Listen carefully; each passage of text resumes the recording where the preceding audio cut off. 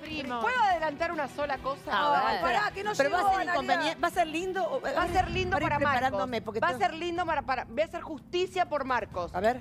Porque ayer y antes de ayer y todo, Romina, Daniela, Julieta se sintieron traicionadas porque él no contó lo de que había La novia. dejado una novia afuera. Sí, lo había contado, había hablado con ellas, ellas lo sabían. Así que a llorar al campito. ¿Ellas lo sabían? Sí. Lo ¿Por qué sabían. Lo sabían. Él le había contado que había tenido una novia afuera y que estaba la relación medio que inconclusa. habían Impasse, quedado en impasse. hablar, perdón, que habían quedado en Claro. hablar cuando salieran. Así que ni- nada distinto a lo que dijo Marcos, que dijo ahora nos vamos a sentar. A al- hablar". hay viniste, algunos mamu, videos, ayer? hay algunos videos. ¿Cómo viniste incluso hoy? Que, que las Vino fans- muy justiciera hoy a la hay mañana. algunos videos que las fans fueron Ah. subiendo a las redes ayer. ¿Cómo, mi amor, cómo? Hay algunos videos que las fans fueron subiendo ayer que se la ve a Romy diciendo, eh, uy, qué mal está el primo, capaz extraña a la novia.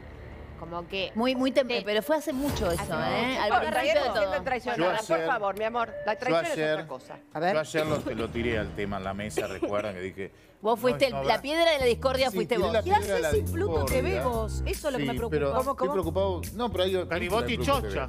Pero vamos al tema. Yo ya lo tiré al tema. Sí. Habrá engañado, lo habrá escondido, habrá salido parte del juego. Lo tiré de gusto para que reaccionaran. Oh, yo no, Marco, perdóname, no es por eso, ¿Sabe muy por qué de reaccionan? pirata. No, Muy ¿sabe de por qué? pirata. Déjalo terminar ¿Sabe al por qué reaccionan? ¿Sabe por qué reaccionan? Son todas unas viejas calentonas.